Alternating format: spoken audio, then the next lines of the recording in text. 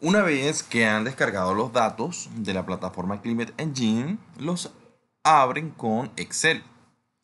Se encontrarán con una hoja como esta, conformada por dos columnas. En la primera se encuentran las fechas y en la segunda se encuentra el valor de la variable. Pero debemos organizar estos datos y aplicarle la estadística básica. Para ello creas una nueva pestaña u hoja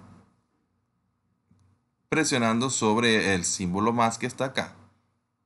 Le das, le presionas aparecerá una nueva hoja, le puedes cambiar el nombre.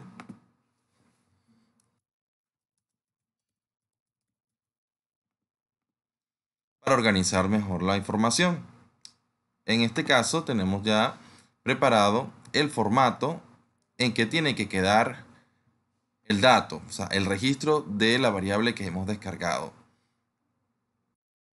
Podrán darse cuenta que en este caso está uno debajo del otro como si fuera una secuencia. Debemos organizarlo por mes y por año. Simplemente construimos una columna con todos los años y una fila con los meses del año. Entonces nos dirigimos a el año en particular, en este caso el 2019,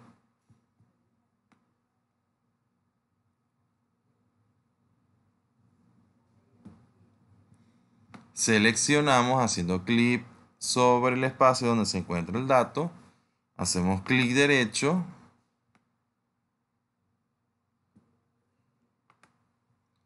copiar, nos vamos a la hoja, seleccionamos la casilla donde le queremos pegar, hacemos clic derecho, seleccionamos pegado especial en la pestaña que se despliegue, y en la ventana que aparecerá seleccionamos valores, transponer. De esta forma se colocan en forma horizontal. Lo mismo debemos hacer con los, el resto de los años.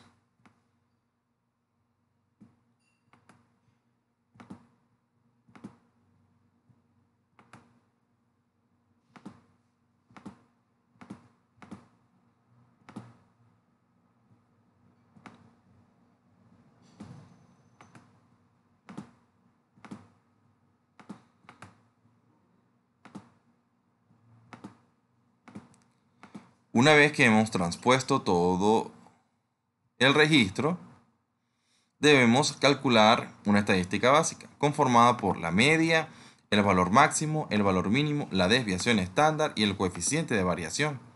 Para ello seleccionamos una casilla debajo de la columna de cada uno de los meses. Presionamos la tecla igual. En algunos computadores este símbolo se mm, ingresa presionando Shift y la tecla donde se encuentre el igual. Luego tecleamos el valor del estadístico que queremos calcular, el nombre. Y una vez que lo seleccionemos, aparecerá esta cruz blanca con la que debemos seleccionar toda la columna. Y luego presionamos Enter. Lo mismo debemos hacer con el resto de los estadísticos. En el caso del valor máximo, tecleamos max, seleccionamos y pulsamos enter. En el valor mínimo, lo mismo, seleccionamos y pulsamos enter. En el caso de la desviación estándar, tecleamos desbest.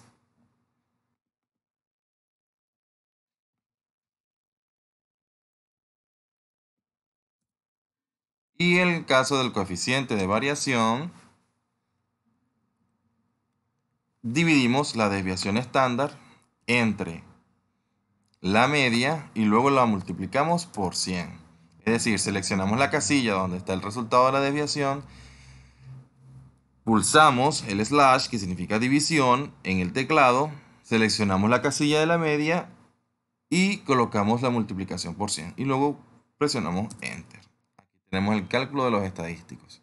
Para no tener que repetir el mismo procedimiento de ingresar cada una de las fórmulas, seleccionamos la casilla donde está ingresada, nos dirigimos a la esquina inferior derecha hasta que aparezca esta cruz negra y sin dejar de presionar el clic desplazamos las casillas y automáticamente se calculan los estadísticos para cada una de las columnas. Debemos repetir este procedimiento con todas las variables que se le asignaron, que se le solicitaron para la práctica.